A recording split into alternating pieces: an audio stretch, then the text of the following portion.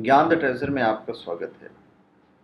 और हम आपको बताएँगे कि हम गले में रुद्राक्ष पहनते हैं, रुद्राक्ष यहाँ भी बांधते हैं, कुछ लोग यहाँ भी रुद्राक्ष बांधते हैं। तो कितने दानों का होना चाहिए?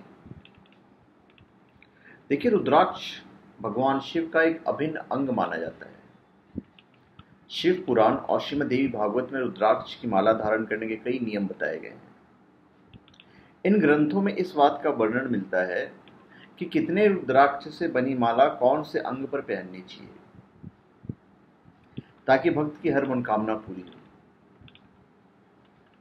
रुद्राक्ष के बारे में आप जानते हैं, रुद्राक्ष की महत्ता क्या है? शिव पुराण के अनुसार संसार में रुद्राक्ष के समान फल और लाभ देने वाला कोई माला नहीं है। इसलिए मनोकामना पूर्ति के लिए इसे धारण करना चाहिए। इसकी पूजा करनी चाहिए और इसका जाप करना चाहिए। मतलब उससे जाप करना चाहिए। श्रीमद देवी भागवत के अनुसार रुद्राक्ष धारण करने से श्रेष्ठ संसार में कोई वस्तु नहीं है। जो इंसान रुद्राक्ष को शरीर पर धारण करके उसकी पवित्रता का ध्यान रखता है, उसकी हर मनोकामना ज़रूर पूरी होती है।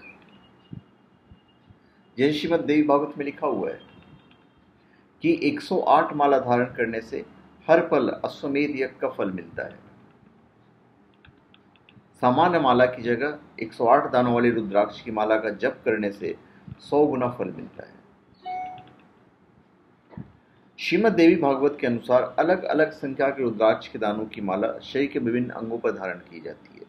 जैसे 50 दानों की माला को हृदय पर और 20 दानों की माला को सिर पर धारण किया जाता है। ये आप जनरली साधु सन्यासी वगैरह को देखेंगे, हर किसी को तो नहीं देख सकते आप।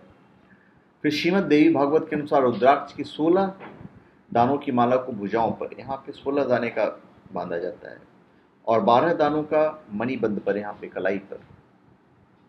108 दानों की माला को गले में धारण करने का महत्व होता है।